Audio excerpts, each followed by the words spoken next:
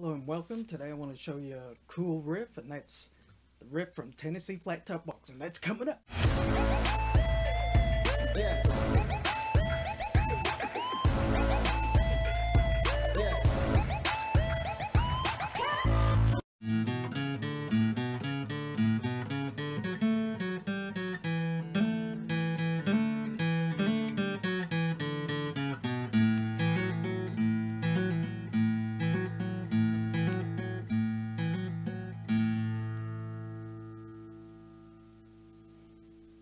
You for coming to Your Guitar Guide, the channel where I'm going to help you find your sound with guitar lessons, music, and gear reviews.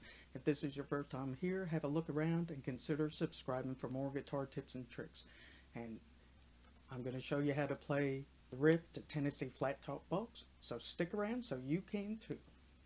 I'm going to show you how to play the riff, but to make it sound exactly like the song, you need to have a capo on the first fret. And for some reason, I've lost my capo. So just know that the capo needs to be on one. By the way, I've been playing my Jasmine guitar here. It's one of the best kept secrets. This guitar is less than a hundred bucks at the time of this video. So if you like the way it sounds, there'll be a link in the description. Check it out. So first off, we're going to play the A string, the fifth string. We're going to open, pick it one time, pick the second fret, pick the fourth fret, and then open D string, fourth string. You can do that twice. And on the third time, so on the third time you're going open A string, two, 4, open D string, 4 on the D, pick the uh, G string at the second fret two times. so after you pick the G string twice, pick the fourth fret of the D string.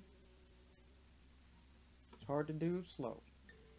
Don't worry though, I've got the tab. I'll leave the link in the description for the tab. After you pick the G twice, open G string,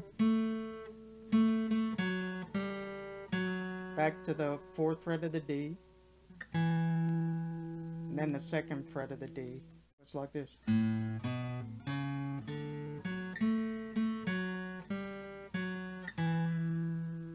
Then you play.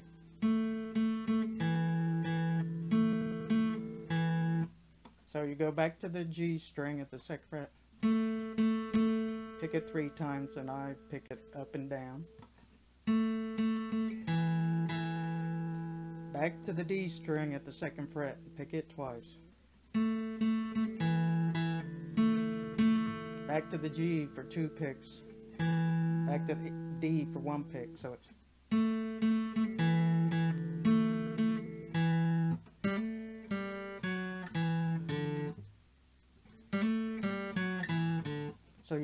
the G string at the second fret, open G string, D at the fourth fret,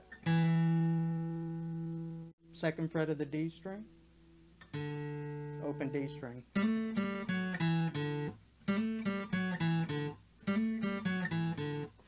So here's what we've got so far.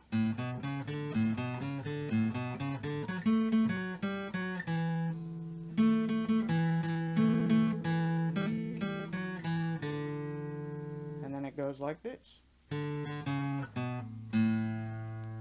So what that is, is picking the open D string twice, and I like to pick up and down. When it's put all together and you figure it out, it's a fast pace, so picking up and down makes it a lot easier. So pick up and down on the D string, the uh, fourth string twice. A string at the fourth fret, A string at the second fret, open A string. And then it's hammer on. So it's pick the uh, pick the D string, hammer on the fourth fret of the D string, pick the D string, hammer on the fourth fret of the D string, and it's a pull off. So it's a hammer on and a pull off.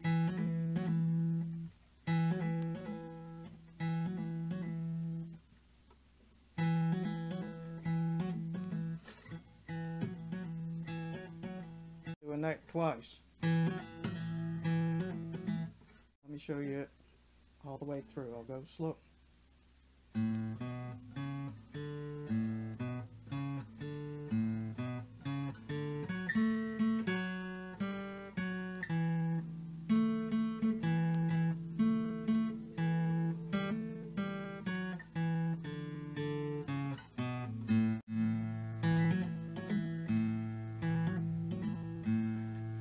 In between the fourth fret of the D string hammer on, hit the A string, A string, and then pick the D string. Your first finger is at the second fret of the D string.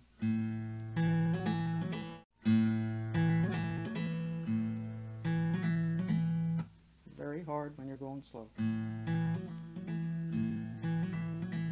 But on the same token, you need to break it down and learn until you get it, and then go to the next part. I have a complete lesson of this song here, so check it out right there. And thanks for watching.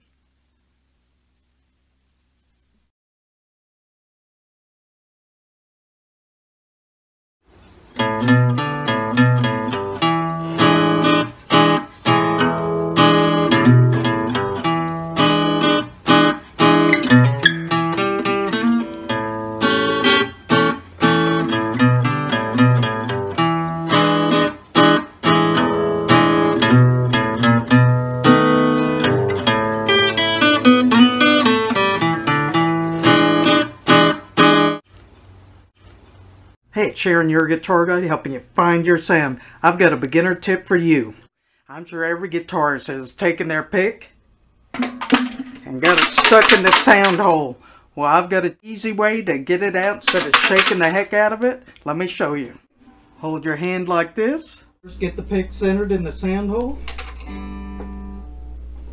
And if you want some more guitar tips and tricks, check out Your Guitar Guide. Go ahead and subscribe right now.